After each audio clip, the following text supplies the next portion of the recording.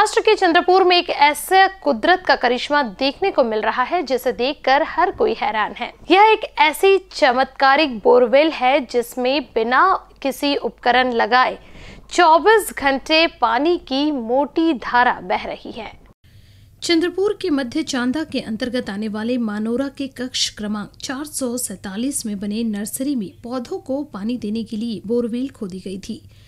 Borewell खोते ही एक ऐसा कुदरत का करिश्मा देखने को मिला जिसे देखकर हर कोई हैरान है। एक अप्रैल का ये बोरवेल खोदी गई थी, तभी से इस बोरवेल से लगातार पानी की मोटी धार बह रही है।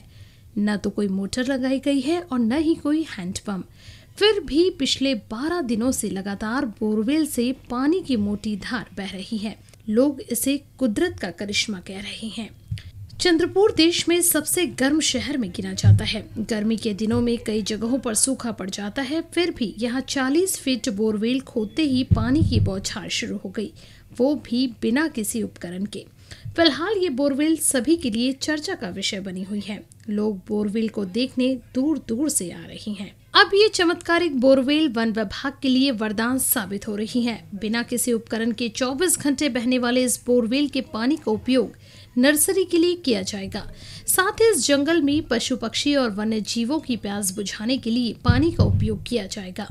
विशेषज्ञों ने वैज्ञानिक जानकारी दी है कि हज़ारों वर्षों से विभिन्न परतों में ज़मीन के नीचे जो पानी रिश्ता आया है, वो पत्थरों के आंतरिक दबाव के कारण इस तरह बाहर निकल रहा है। हाइड्रोस्टेटिक परत के दबाव से बनने वाले विशेष संरचना से ये पानी आसानी से निकल जाता है। चंद्रपुर ज़िले के कन्हार गाँव में वन विभाग की एक अन्य नर्सरी में भी इसी तरह बोरवेल से पानी निकलता है। मानोरों की घटना इसी ज़िले में दूसरी घटना बताई जा रही है। देश में ऐसे जल स्रोत दुर्लभ है। चंद्रपुर ज़िले के पोम्बुरना तहसील में फॉरेस्ट एक एरिया में एक आर्टिजन वेल पाई गई है।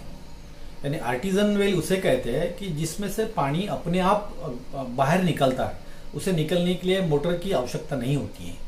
इसका एक वैज्ञानिक कारण भी है कि ज़मीन के अंदर जो जोग्राफिकल स्ट्राटा जो होता है, उसका जो आकार होता है वो कप शेप का होता है। और कप शेप का जो आकार होता है तो उसके अंदर वो पानी जमा होता है। और फिर बरसों के, बरसों से उसके ऊपर जो एक लेयर फिर जमा होता है, मट्टी, या रेत का एक लेयर जमा होते रहता है।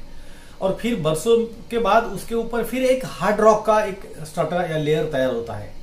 यानी पानी ज़मीन के अंदर ट्रैप होता है। और वो ट्रैप हुआ पानी हज़ारों साल, लाखों सालों वैसे ही जमा रहता है वहाँ पे। या फिर कहीं अंदर से उसको अगर स्प्रिंग मिलता है तो वह पानी वहाँ आते रहता है। मगर जब भी हम किसी वक्त एक आधी बोरवेल वहाँ खोदते हैं तो सडनली वो जो जैसे ही ऊपर का पत्थर हम फोड़ते हैं तो वो वहाँ का जो पानी है, एकदम प्रेशर से बाहर आते रहता है। क्योंकि जहाँ हम बोरवेल खोदते हैं, वहाँ का तो वाटर लेवल एक्चुअली कम होता है।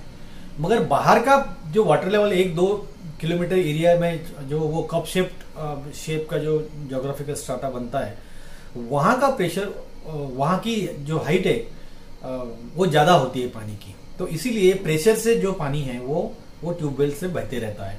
और यह पानी कंटिन्यूस बहते रहता है। इसी चंद्रपुर ज़िले में कनाड़गांव जो एरिया है, वहाँ पे इस प्रकार की दो ट्यूबवेल है कि जहाँ से पानी कंटिन्यूस आते रहता है। क्योंकि चंद्रपुर ज़िले में हमारे यहाँ टेक्टोनिक प्लेट के मूवमेंट की वजह से इस प्रकार की जो जोग्राफिकल जो स्ट्रक्चर है, वो तैयार हुआ है, विशेषतः गोडपिप्रिया और पोमुरना तालुका में।